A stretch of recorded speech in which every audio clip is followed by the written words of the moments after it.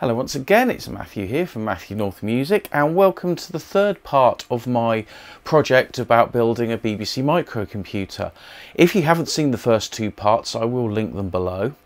And also, if you like this kind of stuff, please think about liking and subscribing to this channel because every subscriber counts and it helps keeping the channel growing. Anyhow, let's get to the board and let's see what we've been up to. Here is our keyboard and in the last video you've seen some of the keys were missing and I have bought replacement used keycaps for all of the keys. Now there's two that I haven't replaced yet which are here in this bag and that's because the actual buttons here the ends have actually sheared off. I don't know how well you can see this but if I grab a, a key say the uh, the number one key you pop it in place but it's got nothing to nothing to hold on to the actual thing is broken.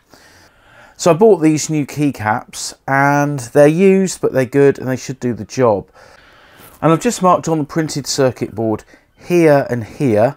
These are the two switches that I need to replace. So I'll get the uh, soldering iron out, we'll uh, desolder those and we'll solder some new ones in.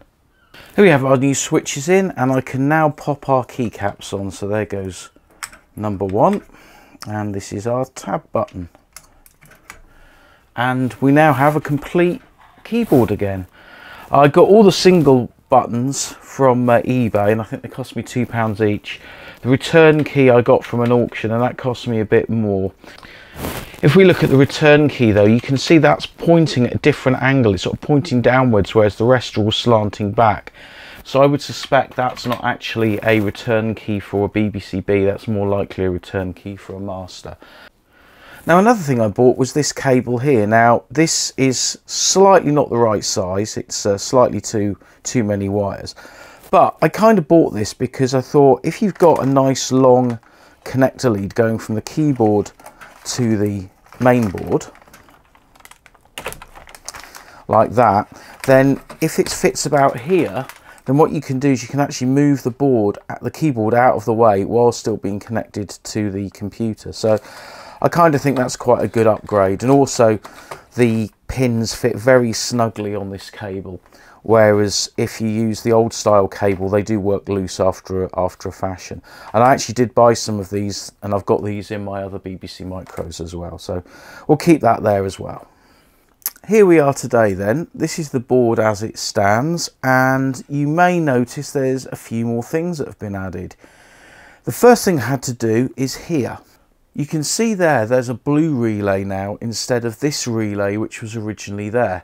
And the reason I took this relay out is because somebody left a comment on my last posting on YouTube mentioning this was the wrong pinout. So this relay would never work on this board.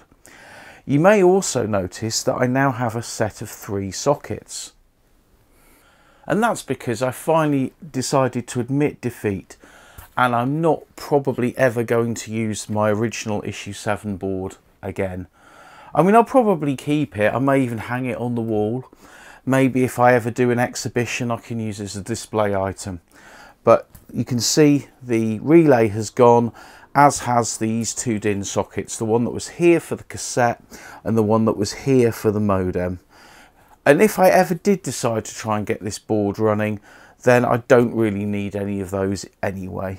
So uh, yeah, but the other good thing about this board is that it's been really handy just for me to look for different components. I was looking for where some of the transistors went, like this one here and one here, and I couldn't automatically just spot it because, you know, sometimes I just don't spot these things. But just using a board like this as a comparison is really handy. And it's also handy to show you where the, where the jumpers go and as to whether you're going to actually need a jumper or not because there's sockets places all around here for different types of jumpers but you never know whether you actually need to solder them in or not. And just having a board like this means you've got a direct comparison. Well then here's something. For the Econet, you need to have some of the resistors that have to be within 2% tolerance and I've got some 100Ks here that I need to use. And what I've done is I've actually got two different ways of measuring them one on here and one on here. And they've come from the same batch. And according to this meter one of them is slightly over. And according to this meter one is slightly under. Now they're both saying that they're basically within spec.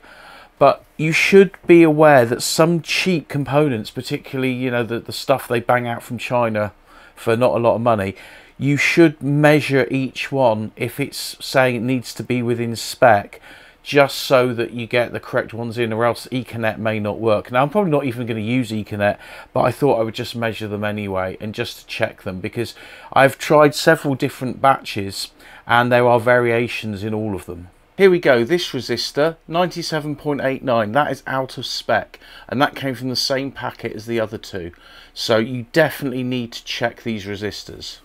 Okay then, here's the state of play of the board at the moment and you can probably tell that there's a bit more on here now and actually the board actually has a, a fair bit of weight to it because the actual original BBC board here even without all the main chips in it's actually quite heavy but anyway uh, the first thing I did was I had a kind of scattergun approach I guess to fitting resistors and capacitors. But what I've ended up doing is I kind of started on the bottom left of the board and most of round here has all been populated now resistor wise and there are some capacitors as well.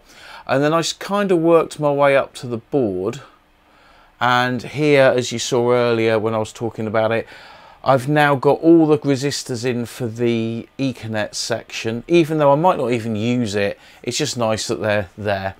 And some of these stick out a little bit because they are physically different sizes and but you know they're all electronically okay.